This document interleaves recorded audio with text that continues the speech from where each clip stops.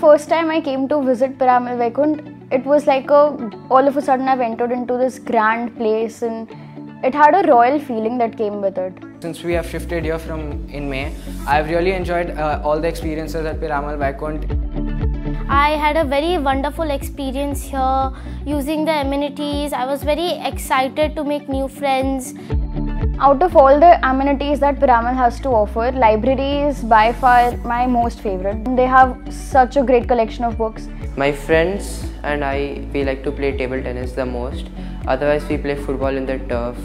In this society, I have been welcomed like a family member and I have had a lot of good experiences along with my friends in this society. My favorite outdoor activity was the swimming pool. I, in the summers, had a big blast in the swimming pool with my friends. Uh, very high hopes for Piramal Vaikunth and every amenity we can wish for so we don't have to travel somewhere to get those.